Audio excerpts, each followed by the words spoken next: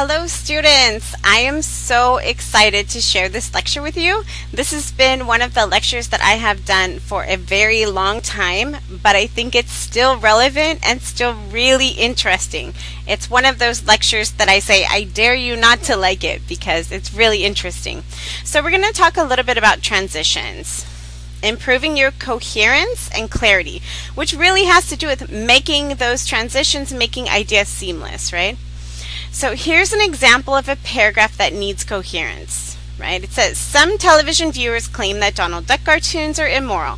For 50 years, Donald has kept company with Daisy. Donald's nephews, Huey, Dewey, and Louie, are apparently the children of a Miss Duck who was last seen in a comic book in 1937. Donald is drawn without pants. The opinions of these persons have been largely ignored by the general public. So, I have used this Donald Duck sort of pseudo paragraph for a while here, but it is from a writer's reference. This is kind of the face I get when I get paragraphs like this. I think, hmm, what exactly is the person trying to say? I think I know, but I'm not sure. So, what do you think that the author is implying? So, first, what is the central idea? What is the main idea that the author is trying to say? Right? That some television viewers claim that Donald Duck cartoons are immoral. So, Donald Duck is immoral. That's the main central idea that's running throughout the whole paragraph. Uh, for 50 years, Donald has kept company with Daisy. Again, kind of goes with that immorality. Uh, Donald's nephews are apparently the children of a Miss Duck who hasn't been seen in a long while, right? So all of these things follow as support for for Donald Duck's immorality, and yet the the writer didn't really say that, right? And then Donald is drawn without pants, another right example of his immorality. And then these opinions have been largely ignored. So how do we fix this paragraph? So the first solution is keep referring back to the central idea or the main idea, right? And this goes for both a paragraph and eventually an essay. Keep bringing back that central idea even when you think it's redundant. So you can transition from idea to idea more easily by reminding the reader of your main point. Tell us again. So here's a lot clearer relationships all the, the author really did was add a few instances where um, he or she refers back to the central idea, the main idea. And you can see how much better this paragraph gets, right? From a D paragraph to a C paragraph. So it says some television viewers claim that Donald Duck cartoons are immoral. For 50 years, Donald has kept company with Daisy, a relationship that to some seems suspicious and dishonorable.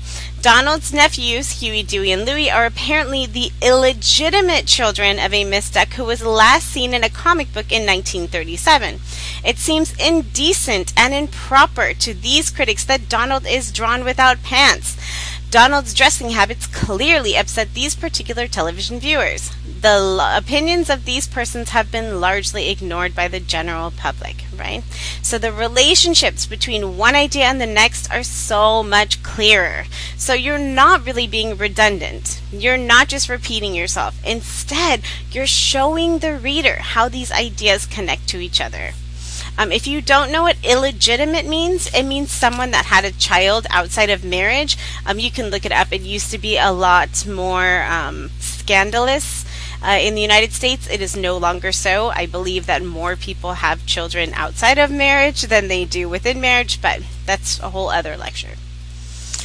Solution number two use common transitional words and phrases. So transitions are like road signs. They tell readers what they're expected to do and how to respond. I know for second language students this can be difficult, but the more you can learn to use these in your writing, the better. So, so here's some more. Here's some examples of transitions. Um, things like first, second, next, finally, those are to show movement. Um, to show example, words like for example, to illustrate, for instance um, to add another idea, things like in addition, furthermore, etc. Um, to show a contrast, on the other hand, however, instead, to show a result. Um, so, therefore, as a result.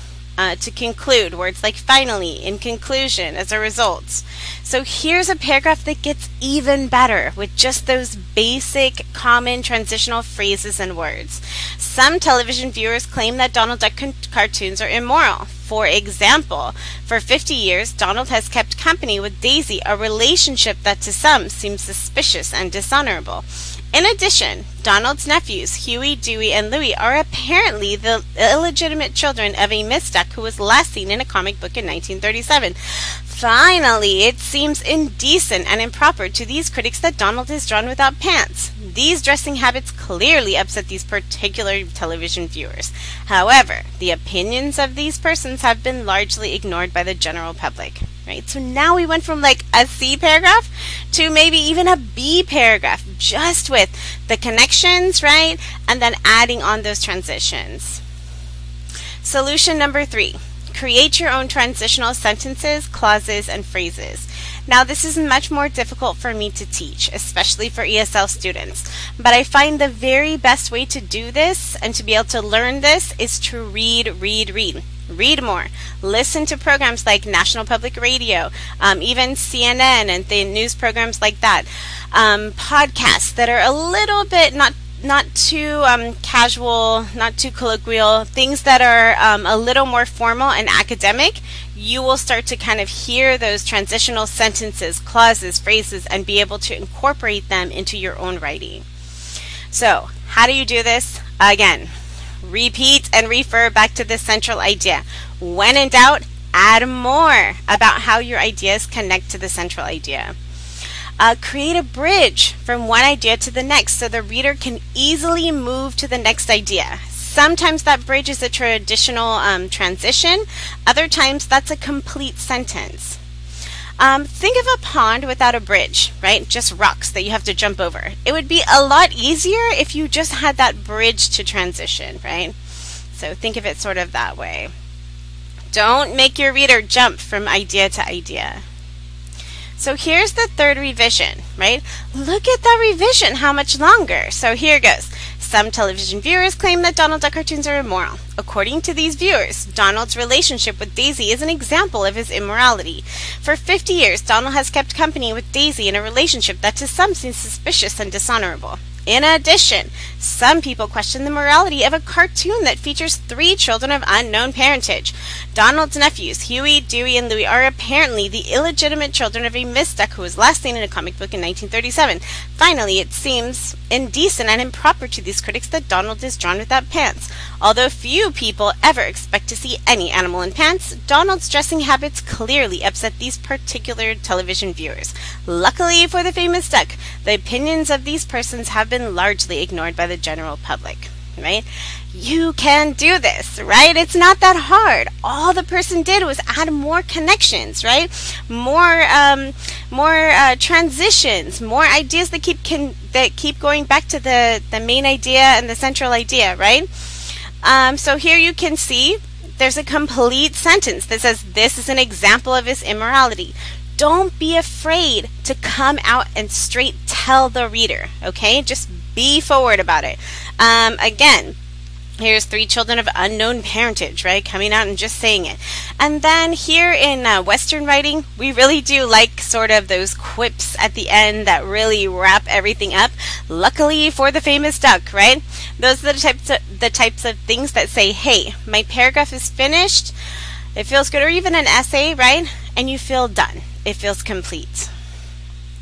So, uh, in sentence two and four, they added uh, the writer added a transitional sentence. In sentence seven, there's a transitional clause. Uh, sentence eight, there's a transitional phrase. And you can compare, right? Look how this paragraph has changed. The main components of the paragraph have not changed. So when students come to me and say, oh, I can't write anymore. No, you can. In fact, you don't even have to often get more information. You just need to clarify the relationships between ideas, right? So here's the first draft. Look at that font, right? Here's the second draft, already getting smaller in the font. Here's the third draft, right? Look how much smaller the font is and how that thing has really developed. And here's the fourth and final revision. right? That looks wonderful, like so much more dense, and yet the main ideas are still the same. Hopefully, you now have an idea of how to make your paragraphs longer, stronger, and make more sense. All right, I will see you online.